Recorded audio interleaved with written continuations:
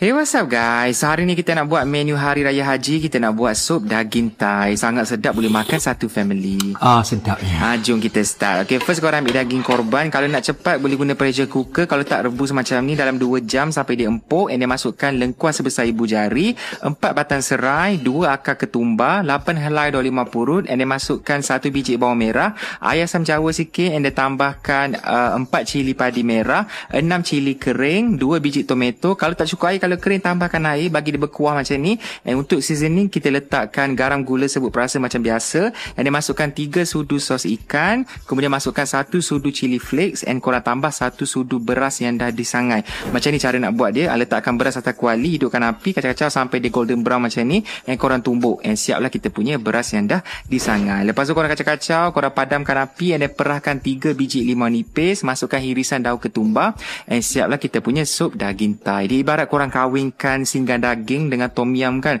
Rasa masam kek pedas. Oh, sangat sedap boleh buat hari raya nanti. Rasanya memang balance uh, masam pedas kick dia semua ada. Yang ni korang boleh buat guna daging korban nanti. Okay? Selamat Hari Raya. Aidil Adha.